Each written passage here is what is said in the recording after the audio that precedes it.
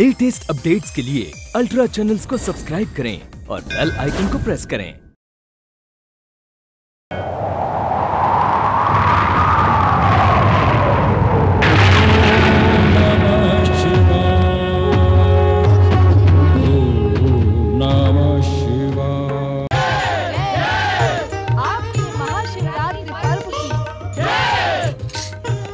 विश्वनाथ, आज के परम पावन दिन हम सब शिव भक्त आपके दिव्य, अलौकिक एवं विराट स्वरूप के दर्शन करने के इच्छुक हाँ। स्वामी। आज के परम पावन दिन, आपके विराट स्वरूप के दर्शन करना तो हम सबका सौभाग्य है। कृपया, हम सब शिव भक्तों पर कृपा करें। हमें अपने अलौकिक स्वरूप का दर्शन कराएँ।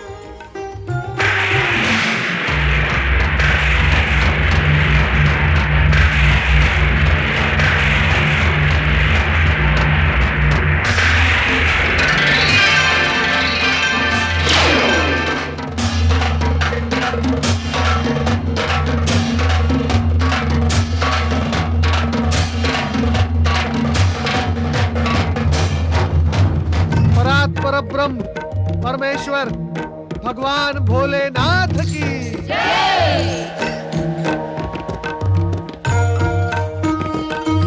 हमारे इस विराट स्वरूप के दर्शन के साथ साथ आप सभी के मन में यदि कोई जिज्ञासा हो तो उसे निसंकोच प्रस्तुत करें।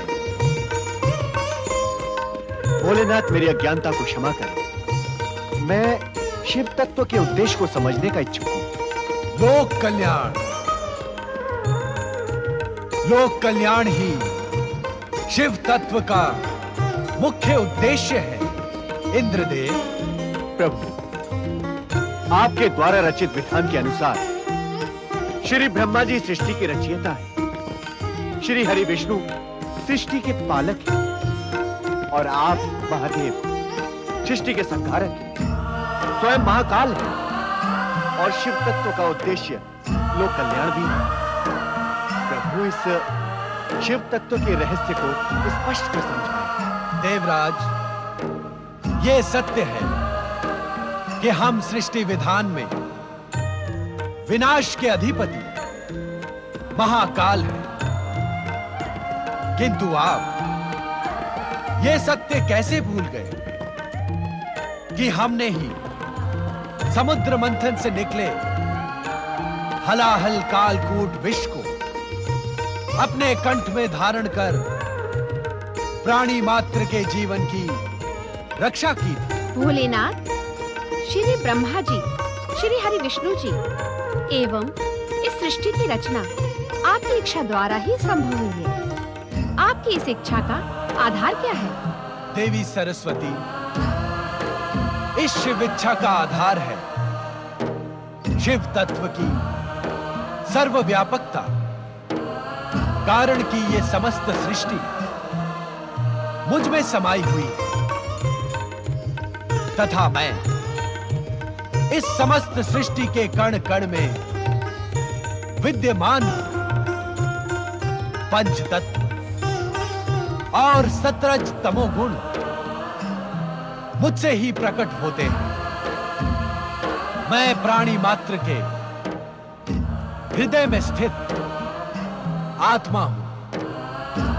मैं ही समस्त सृष्टि का आदि मध्य और अंत महादेव जी कृपा करके बताएँ कि शिव तत्व की उत्पत्ति कैसे संभव हुई?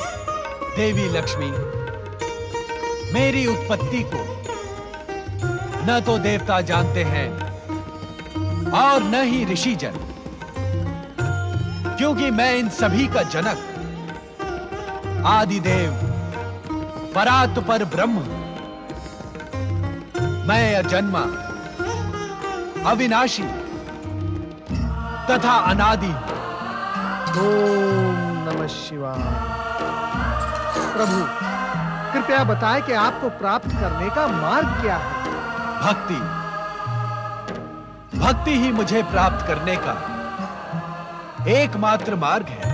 नारद, प्रेम तथा समर्पण सहित मेरे पंचाक्षरी मंत्र का जप करने वाले भक्त को मैं वो ज्ञान प्रदान करता हूँ, जिससे वो मुझ शिव तत्व को प्राप्त हो जाता है। भोलेनाथ भोलेनाथ, कृपया बताएँ कि इस सृष्टि को विनाश से कैसे बचाया जा सकता है?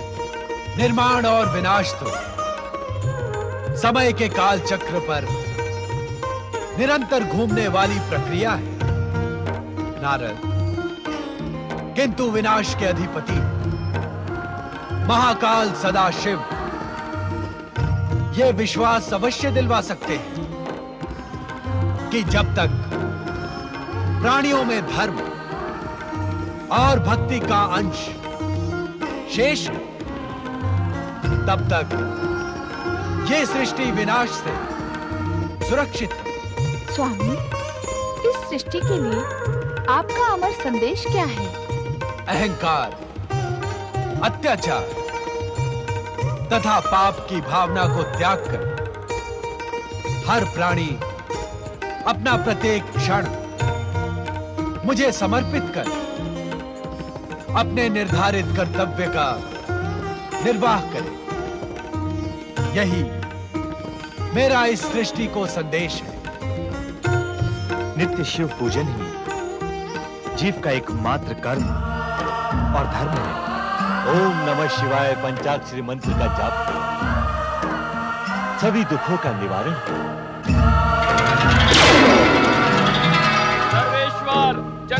रक्षक एवं महाशिवरात्रि पर्व की।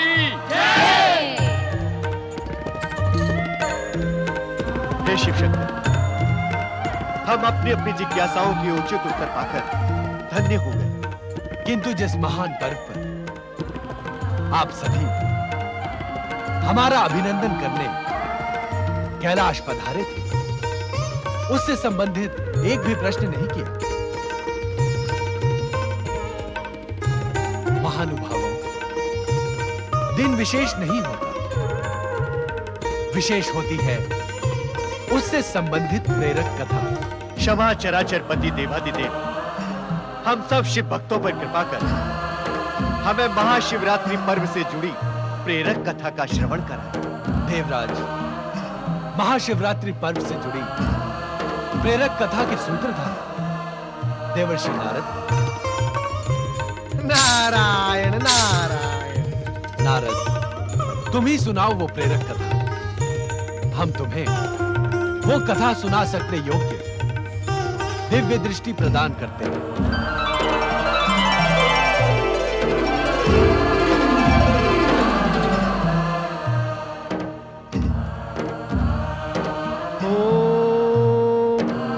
शिवाय। शिव भक्तों सुनो। शिव भक्ति की महान तथा प्रेरक कथा सुनो। फाल्गुन मास कृष्ण पक्ष की त्रयोदशी के दिन, वन में रहने वाला गुरुद्रुह भील अपने परिवार का पेट भरने के उद्देश्य से आखेट पर निकला। गुरुद्रुह भील एक हिरनी पर अपना लक्ष्य साधे, उसके पीछे पीछे भाग रहा था।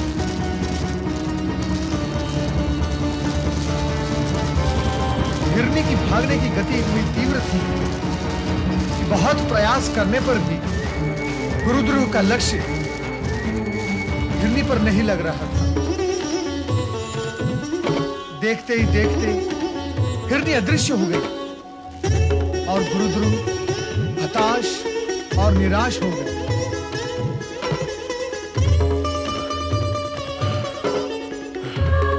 न जाने हिरनी किस दिशा में चली गई है? इस पेड़ पर चलकर देखता हूँ।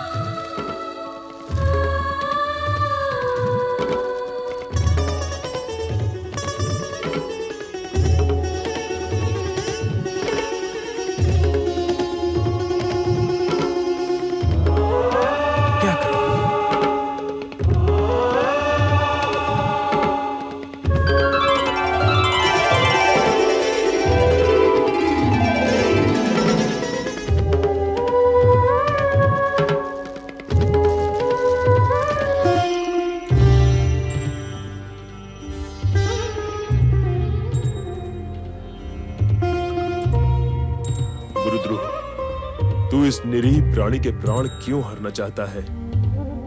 इसने तेरा आखिर क्या अनिष्ट किया है, जो तू इसके प्राणों के पीछे पड़ा हुआ है? मैं जानती हूँ आपका छोड़ा हुआ तीर लक्ष्य तक पहुंचकर खाली हाथ नहीं लौटता। किंतु आज मुझे देखने के पश्चात भी आपने तीर नहीं छोड़ा। आप किसी दुविधा में हैं और मेरी मृत्यु की घड़ी टल चुकी है। नहीं नहीं। मेरे मन में कोई दुविधा नहीं है।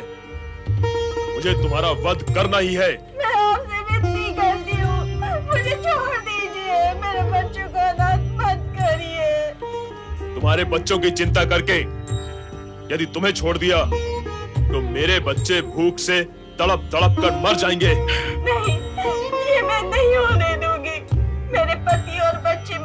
मेरी प्रतीक्षा कर रहे होंगे। बस मुझे इतना समय दे दीजिए कि उनसे एक बार मिलो और कह कि यही हमारा अंतिम मिलन है। भगवान के लिए मेरी ही विनती स्वीकार कर लीजिए। और तुमने छल किया तो? तुम न लौटी तो? मैं एक माँ हूँ। बच्चों की भूख का अर्थ समझती हूँ। मेरे छल के कारण आपके बच्चों का अनिष्ट हो। ये मुझे कभी सहन नहीं होगा। मैं आऊँगी, अवश्य आऊँगी। ये मेरा वचन रहा। प्राणों के भय के आगे वचन झूठे पड़ जाते हैं और फिर भूखे के सामने पकवानों से भरी थाली। या शिकारी के सामने शिकार हो और वो उसे छोड़ दे। ये कैसे संभव हो सकता है?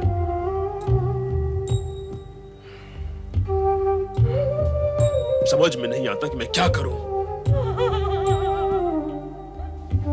तुम रो रही हो? नहीं मुझे तुम पर दया आ रही है। दया? और मुझ पर?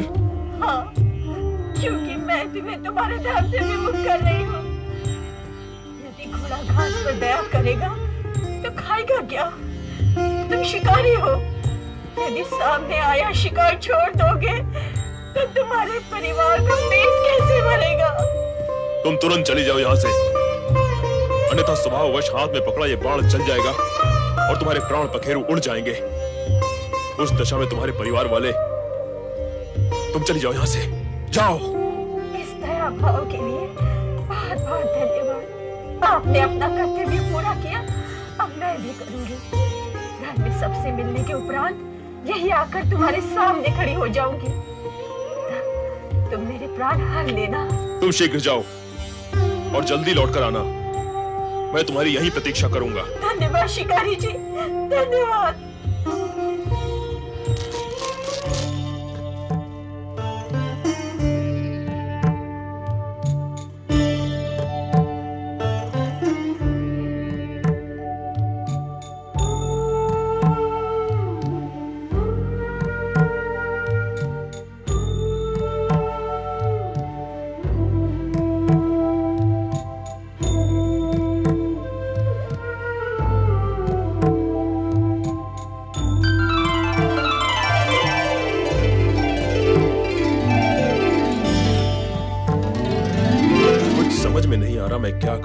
ये मेरे मन को क्या हो रहा है? दया ममता करुणा मैंने तो इन भावों को पहले कभी नहीं जाना कभी नहीं समझा। मुझे अपने आप को संभालना होगा। शिकार करना मेरा कर्म है मेरा धर्म है। मैं उसे नहीं छोड़ सकता। नहीं नहीं मुझ पर दया करो। मैं तो यहाँ अपनी बहन को ढूँढने आई थी। वो घर नहीं पहुँची। उसका परिवार उसके लिए बहुत चिंतित है। चिंता मत करो। अब तक तो वो घर पहुँच गई होगी।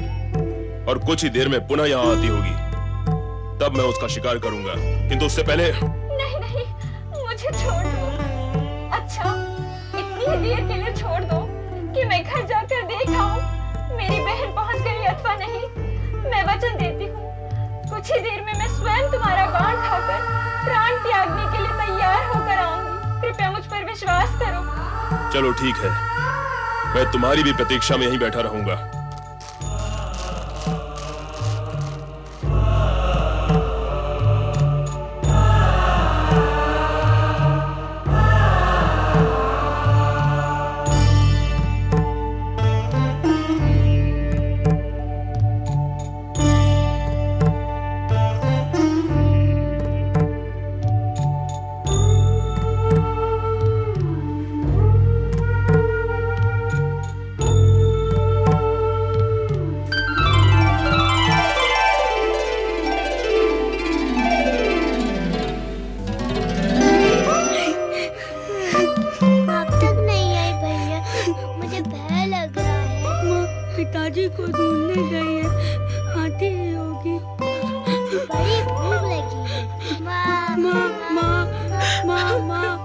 पिताजी नहीं आए।